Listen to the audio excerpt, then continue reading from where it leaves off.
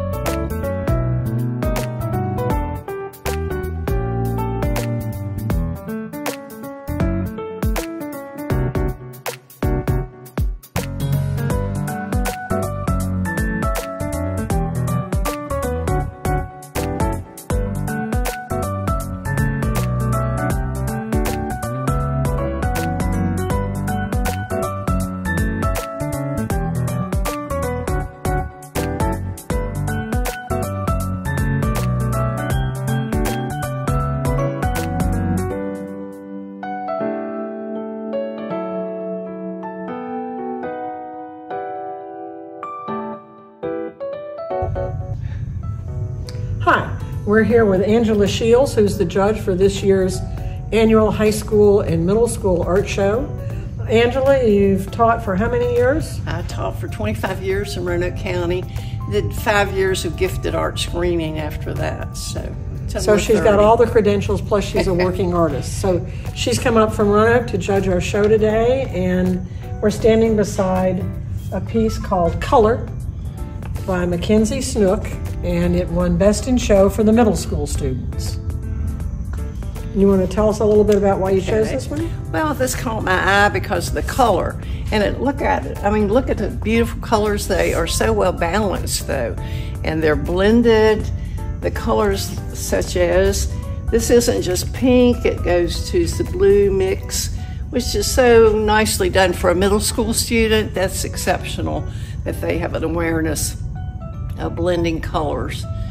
So, a real eye for design in it, too. Thought it was a well done. It was an eye catcher. It was very pleasing. The exhibit is sorted by categories according to media, and the mixed media collage category is quite large. And so there are several prize winners in here. And Angela, why don't you talk about the cat with the blue eyes for a second? Okay, if you look closely, you'll see in the background that there's all kinds of papers have been glued on, and then the cat is painted over top. And it just made a really nice effect for collage. And then the one beside it is a real eye catcher too. Uh, it's a goat, and it's It's made everybody who comes in when we were working on the hanging the show. Everybody came in and just cracked up laughing at this one. So it it different kinds of awards. This one got the, the amusement award from everybody who's come in. But there are several really nice pieces in this show, and particularly in this category. We're here at the table that has sculpture on it. Sculpture in this exhibit refers to anything that's three dimensional but does not have a particular function. It's just for decoration. And I think these bobbleheads are so cute. They are. I taught art you know, for 25 years and I taught ceramics in some of the classes. And I was just so amused because I never thought to do this. I thought it was so clever. The heads move and they just bobble around and that is, but all it is is just placed on top. And what a clever idea. But they're so well done. The glazing, look at all the detail on the glazing, how well it's done. And that's not easy to do. Getting a good glaze is a real hard thing, especially for a middle school student. I think this is exceptional. I think this this is probably the best yet with the middle school student show. Is that right? Yeah, that's great. Now we're going to switch gears a little bit and we're going to talk about the high school exhibit, which is in the back part of the gallery. Angela, chose Paradise by Sienna Babayan.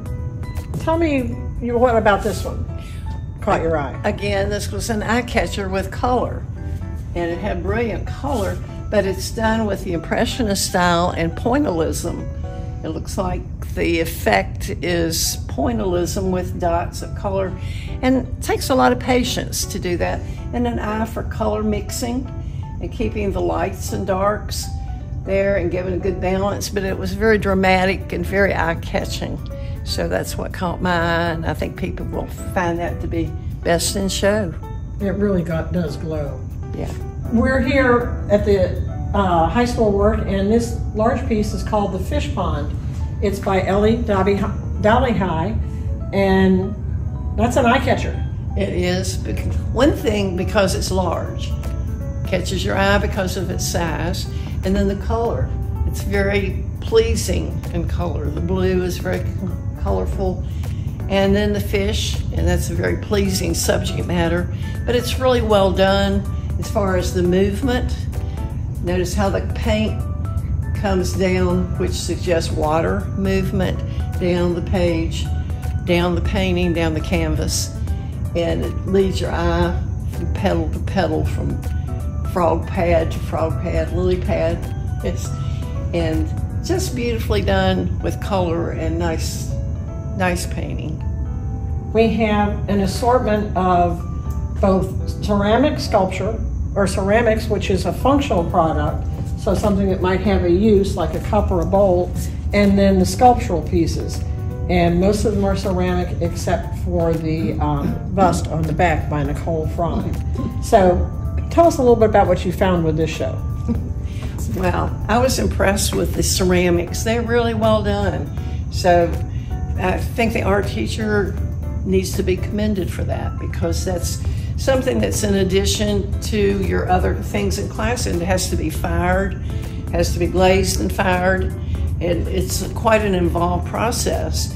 And to turn out such beautiful things, not easy to get across to kids. You can't have it real thick because it'll blow up and that kind of thing. But look at the shapes of things that one caught my eye being such a cute doggy, Rufus, but it was cleverly hollowed out and it can be used to put flowers in or something. I thought that was clever. And just the detail on this one, very carefully done. And again, detail in ceramics is hard to do, especially when you're doing glazing over top and getting that kind of detail.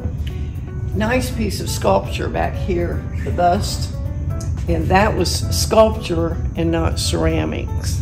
It's a different category, but that was very nicely done. Getting the proportions of the face really well done. Nicole Fry really likes doing he heads and people. Oh, okay. So I'm sure she enjoyed doing that too. It shows for that. And plus the finish on it, it's not a glaze. It's more of a, a, a tint to it, just a glaze over top like, but it's not a fired glaze. So that that really enhanced it, especially the way they did the color on the hair as an addition. So that was very nice. And plus the little detail things here with tic-tac-toe. I guess that was the assignment was mm-hmm. a tic-tac-toe board and how clever they were interpreted in different ways. So you'd have to look at them up close and really see the detail one, this one with the sushi to go, the fish that were in it, the details and that, and the one with the baseball and the footballs, and the cat that was here, very clever. Several entries in the fiber category this year. You want to tell us what caught your eye on this felted piece? Okay. Well, first of all, when I first looked over it, I missed this one. And then I came back looking again to see, you know, everything. I always kind of go back through. And this one caught my eye and it's called Pink Light. And it's done with the fiber uh, felting shreds across with color. And look at all the color that's in it. And the composition is so well done, but it's beautiful. And you get these, it almost looks like a painting the way it's done. yes, I, I don't, I haven't done felting myself and I have seen some in galleries where they're beautifully done, and this one was. Um, the one next to it is in contrast to it, that is stitching, and it took a lot of detail work on it. I thought that was an eye catcher as well. And there was some more on the wall here that were very colorful. I was surprised with how much, how many of the fiber art things were in it. That was really I never know what we're going to get, Yeah. Mm-hmm. and it's always a wonderful surprise when it comes in. Just a nice addition to students being allowed to be creative and what they come up with always amazes you. Yeah.